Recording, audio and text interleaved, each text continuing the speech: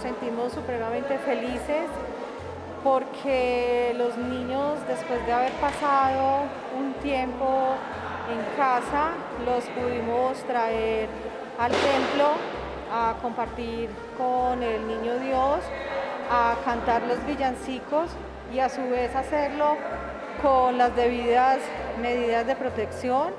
Usaron sus tapabocas, estuvieron bajo los cuidados y el aforo permitido. Eh, nos acompañaron los padres, aquí tenemos el padre párroco de, de Balboa. Y todos los niños a medida que vamos caminando por Risaralda están siendo consagrados al Niño Dios, en especial porque ha sido un año donde hemos encontrado mucha violencia, en especial violencia física y violencia sexual hacia nuestros niños. Entonces es una gran bendición poder contar con que nuestros sacerdotes están abriendo las puertas para que se haga una Navidad que es diferente a todas y que a su vez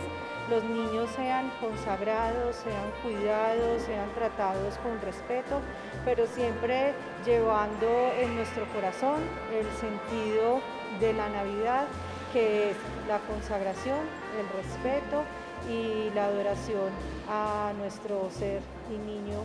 que siempre ha estado con nosotros para las Navidades, no podíamos faltar.